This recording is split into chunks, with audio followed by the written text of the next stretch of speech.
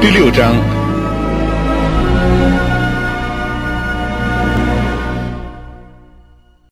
那时门徒增多，有说希利尼话的犹太人向希伯来人发怨言，因为在天天的供给上忽略了他们的寡妇。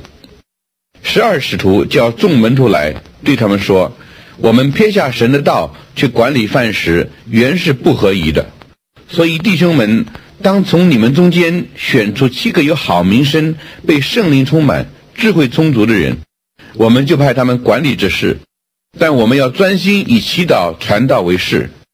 大众都喜悦之话，就拣选了斯提凡，乃是大有信心、圣灵充满的人；又拣选菲利。”伯罗哥罗、尼加挪、提门、巴米拿，并进犹太教的安提阿人尼格拉，叫他们站在使徒面前。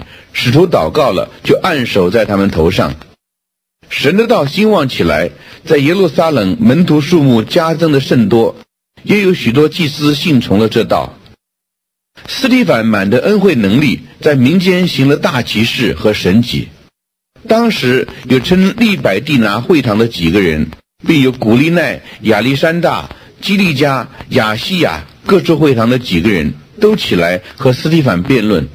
斯蒂凡是以智慧和圣灵说话，众人抵挡不住，就买出人来说：“我们听见他说棒赌摩西和神的话。”他们又耸动了百姓、长老并文士，就忽然来捉拿他，把他带到公会去，设下假见证说。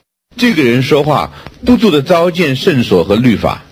我们曾听见他说：“这拿撒勒人耶稣要毁坏此地，也要改变摩西所教给我们的规条。”在公会里坐着的人都定睛看他，见他的面貌好像天使的面貌。